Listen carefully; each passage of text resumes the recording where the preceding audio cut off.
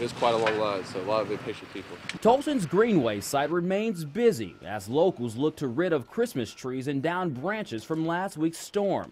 Today, a line a half a mile long stretched down the road at the North Tulsa Mulching site.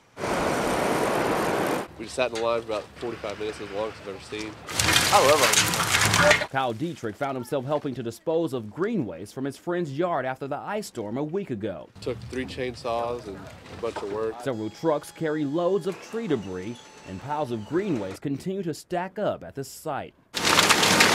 Yeah, I don't know how, what they're going to do with it afterwards. I can only imagine the trucks after they close. You know, the trucks how big they got to be just to you know move it all into position and take care of it. Tree and lawn care businesses are getting an increase in cash flow, and the city not picking up down trees is bringing in more customers. It's a lot of work.